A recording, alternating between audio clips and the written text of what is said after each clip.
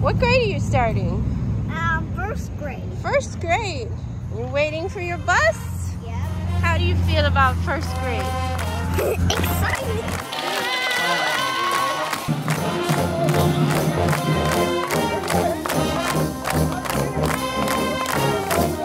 Welcome back, girls!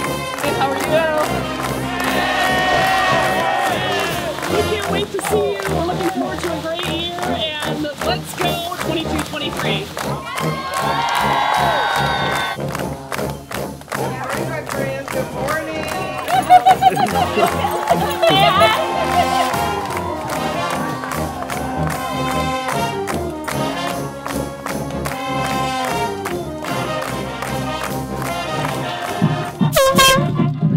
right, everyone, let's get started.